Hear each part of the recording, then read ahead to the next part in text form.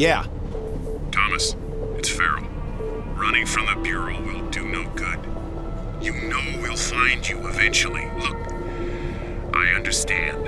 The caseload became too much. You weren't solving cases like you used to. You're talented, high strung. You snapped. It happens sometimes. Come Look, I did not snap. Someone else killed those policemen. I, it looks like it might have been the matchmaker. with your gun. That seems unlikely, doesn't it? Have psychiatric staff that can help you sort things out. With all due respect, I don't need a shrink.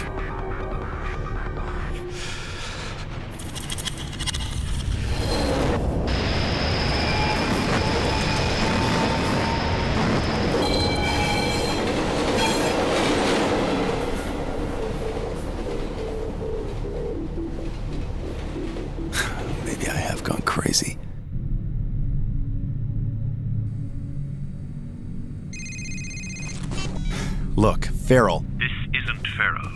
It's Malcolm Van Horn. Has your boss been bothering you? yes. To be expected. They're not going to let this drop. You must continue with your investigation. Do you understand? Do you understand? Yes. I mean, no. What do you want from me, Malcolm? What's going on? Going on. You're being investigated by the FBI for the murder of two police officers. That's what's going on. You will be tested, Thomas. Of that you can be sure. I must go.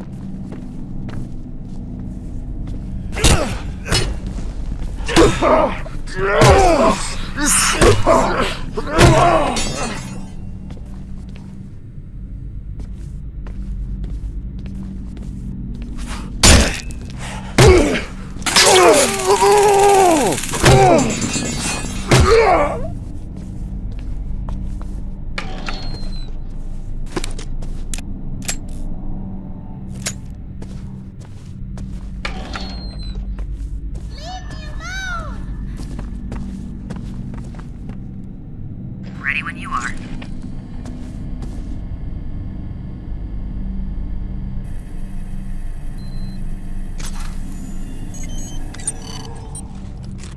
Image received. Right-handed print, missing the right index finger. This matches what we got from the crime scene. I processed all the prints. And Thomas, the print you got from the tape recorder at the metro station isn't on this hand. I, I don't get it. What, what does that mean? I'm not sure. I'm just saying that the print from the tape recorder wasn't made by the same hand.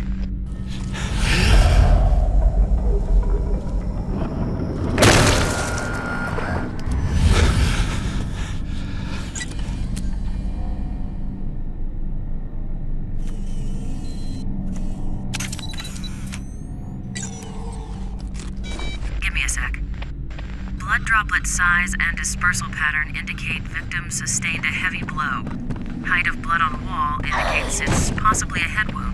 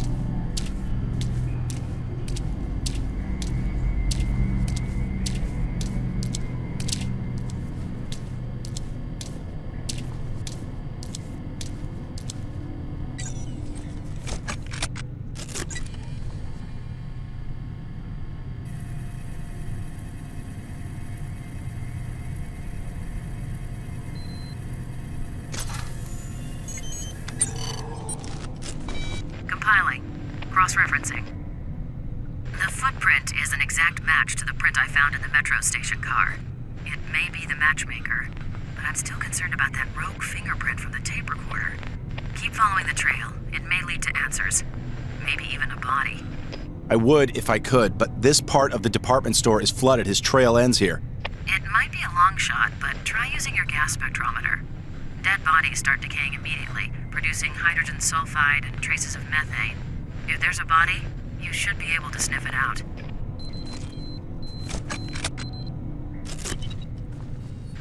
The air sample contains usual city pollutants and high concentrations of mold spores, and here we go methane. It's relatively weak, but definitely there.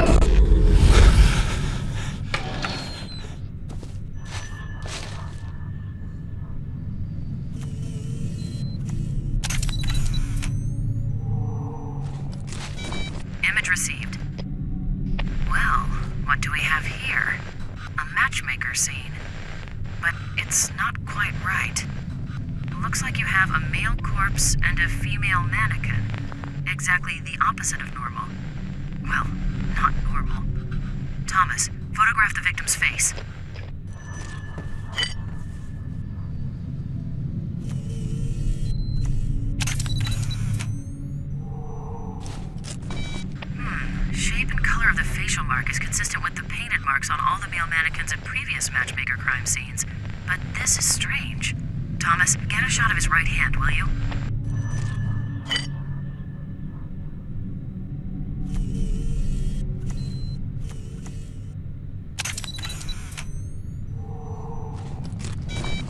Yes, yes, he's missing his right index finger, and it doesn't look like it's a recent loss either. This guy's the matchmaker. Well, he certainly didn't kill himself and set it up this way. See what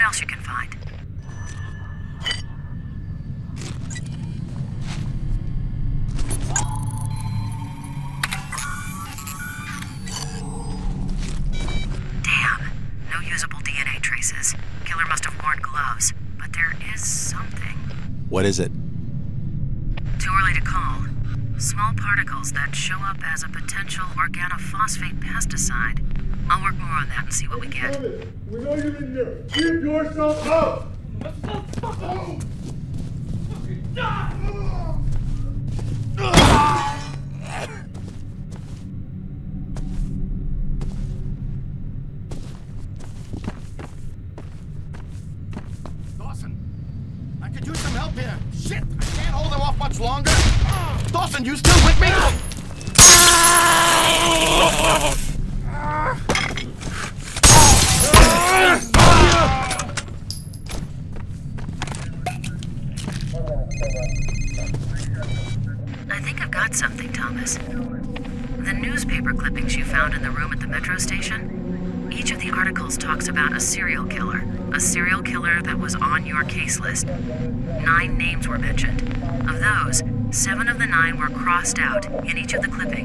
a black felt tip marker. The only names that weren't crossed out were the matchmaker and the torturer. Of the names that were crossed out, all those cases have gone cold. And now you can cross off the matchmaker. Wait, are you implying that there's someone stalking serial killers? So what, he goes around killing killers and then he marks off their name in his little personal diary? Sounds ridiculous, doesn't it? It does, but it adds up. It almost makes sense. Hold on. Ah, shit. Rosa, I have to call you back.